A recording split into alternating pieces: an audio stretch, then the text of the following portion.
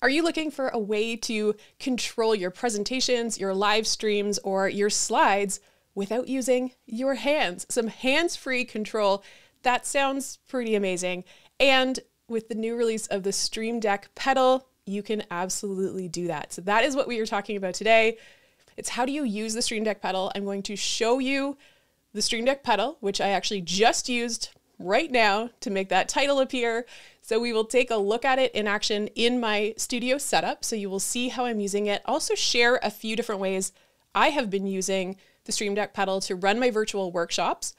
What do I like? What would I avoid? And what are some of the things that you should know if you are considering adding this to your setup? And if you have never met me before, my name is Cat and I help people to make more professional and engaging online presentations. And I've said this before and I'll say it again.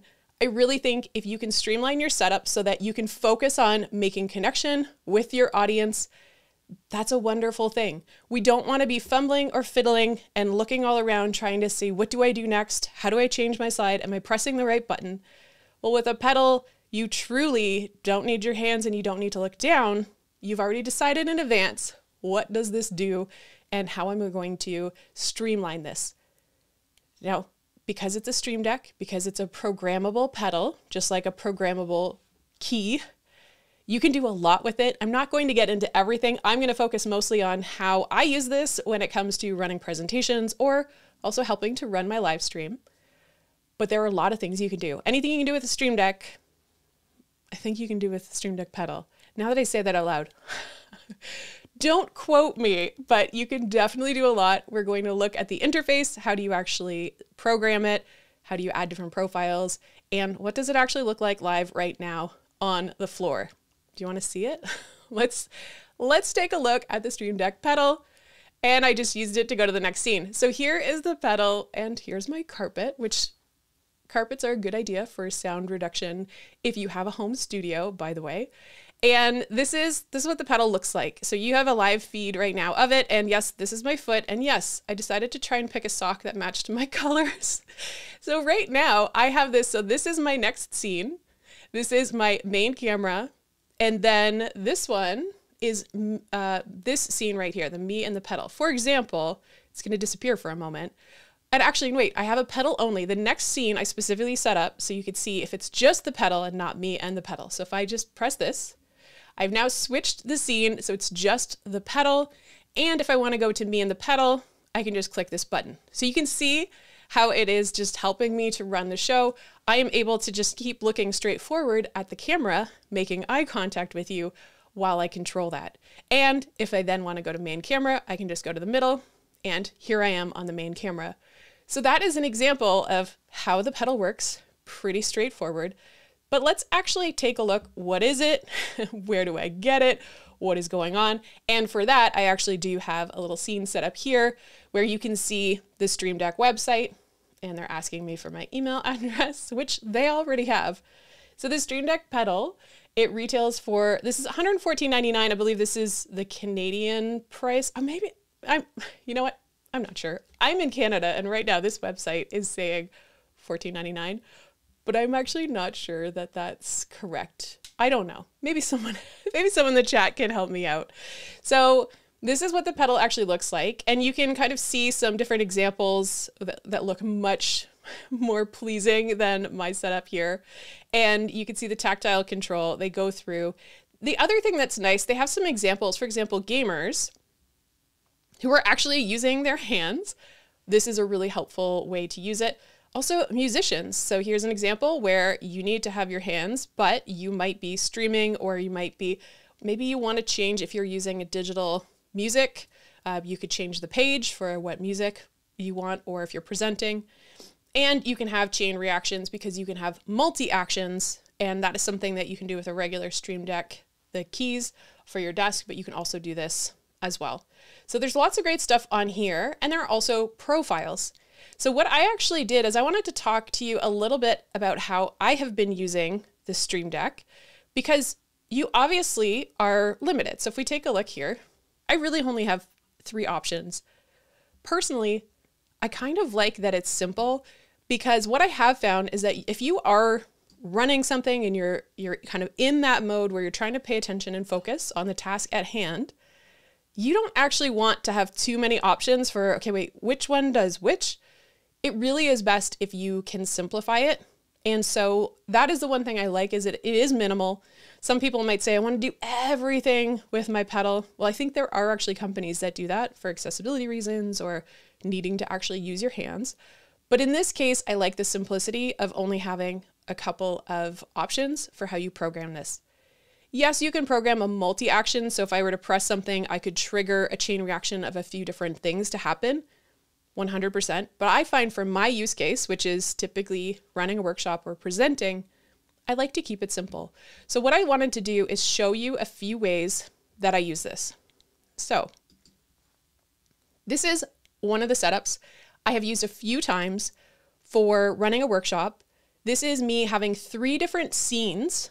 So on my streaming software, I will have three scenes that I bounce between. So me and my slides. So kind of like I just showed you before where I'm beside the website, it'd be similar. It'd be me beside the slides. The middle pedal is just going to my main camera if I want to make a point and I want to get the slides out of the way. And sometimes I want to zoom in on those slides so that people can see them really clearly, especially if I have fine details.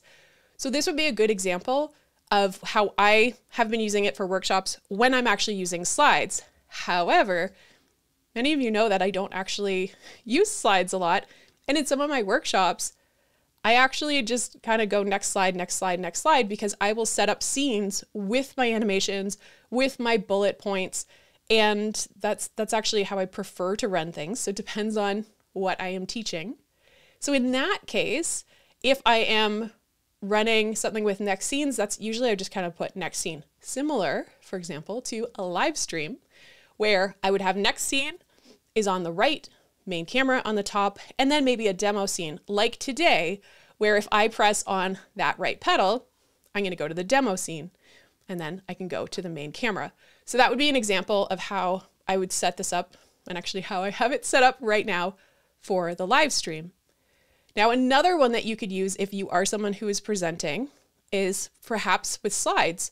You could actually have your next slide and your last slide, or some people might prefer to have the middle be the next slide because that's the primary one.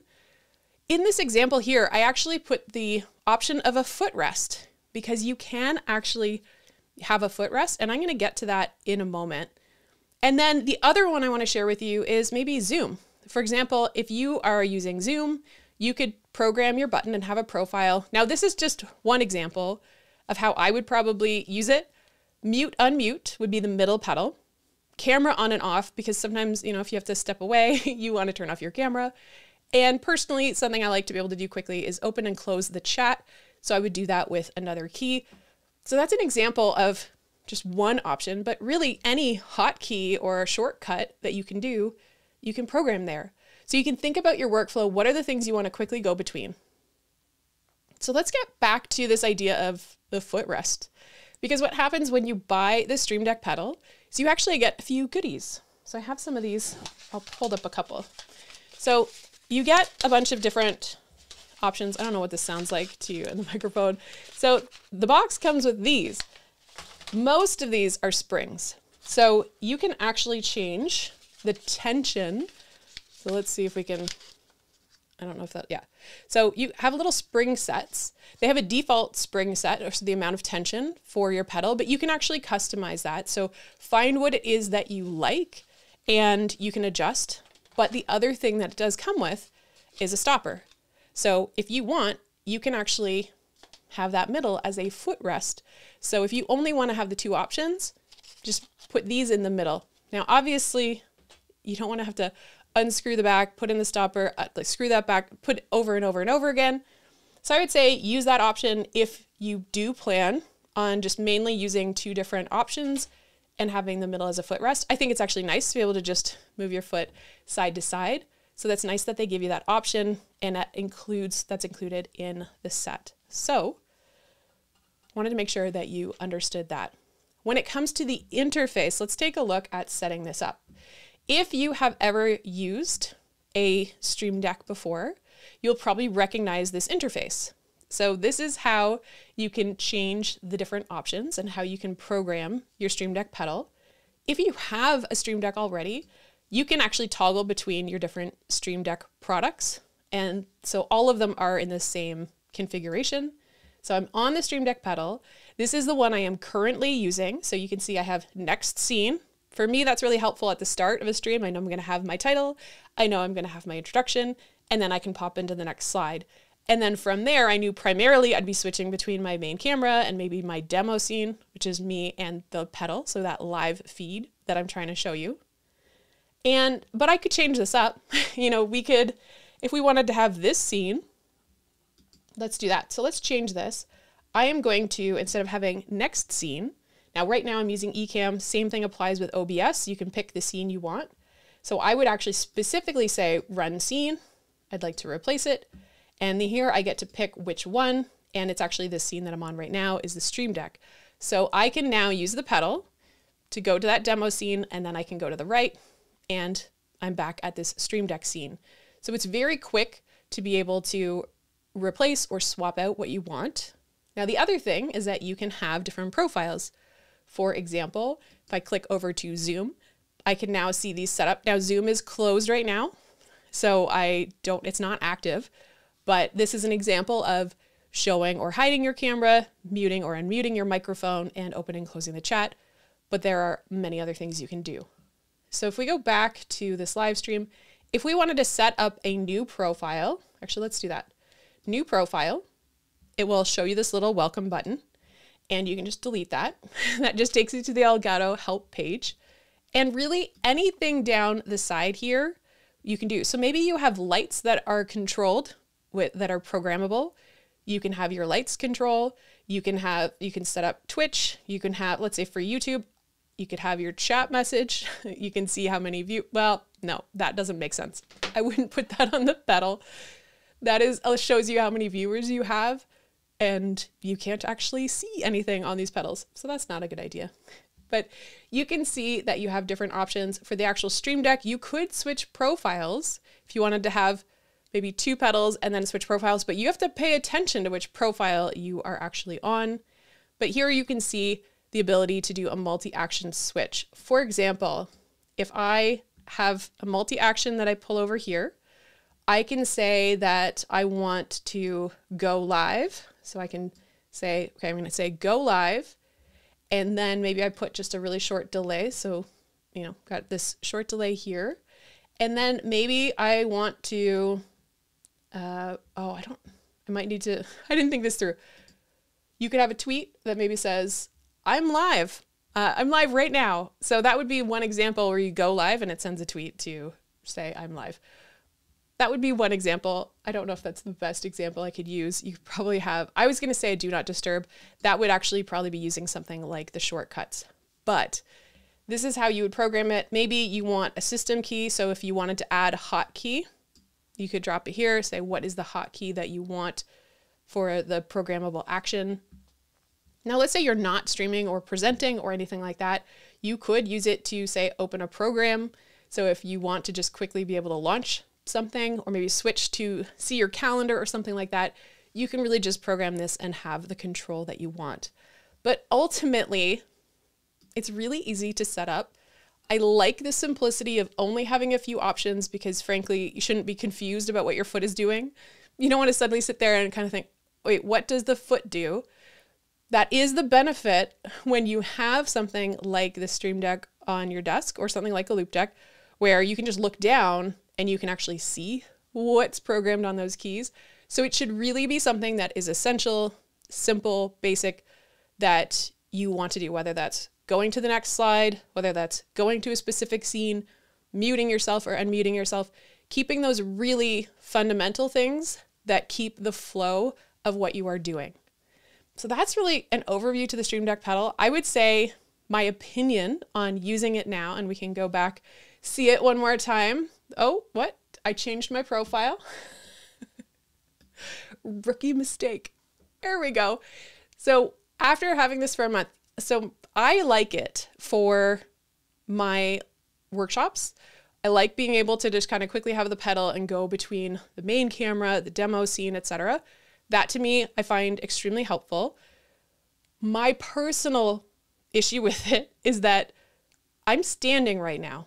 So, a couple of things. One is that you actually might see me shift my weight. so, sometimes I kind of hold on to the desk before I move my foot around.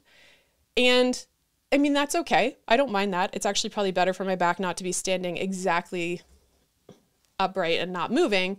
That's not ideal. You want to be able to be fluid and flexible. My problem is that my desk is at standing height and then I have a drafting chair that I sit in when I when I'm seated. I can't touch the pedal. So, I mean that sounds like a really silly thing to wonder about. Here, let's go back to my main camera. But it is a drawback because I am not in a sit stand desk. I am just straight up in a stand position and when I sit I can't reach it. It would be nice. I would probably use it more if I was I was able to use it both sitting and standing. However, I have used it for some live streams. I used that last week because I was showing demonstrations with the Stream Deck. Oh no, that was 2 weeks ago. Showing my my setup, but I have been using it for live streams. It's really nice to progress to the next scene. You don't really have to think, you just press on the pedal. That's the type of thing that I don't want to look down. I just want to be able to do. And so anything you don't want to look down, anything that's essential, I think these are great ways to use it. I'm happy with it. I'm going to keep using it. I just right now only use it when I am standing up and presenting. So I hope that was a helpful overview for you to understand what it is, how it works, some suggestions for how you can use it, and how easy it is to actually program the keys and what are some of the options that you have. And ultimately, just like the old school clicker of next slide, last slide, it just helps you to run your presentation so that you don't have to you don't have to look down, you don't have to fumble around, you don't have to use your mouse to go to the next thing. I really do think that this kind of tool can streamline and it can help you to run more professional and engaging online presentations.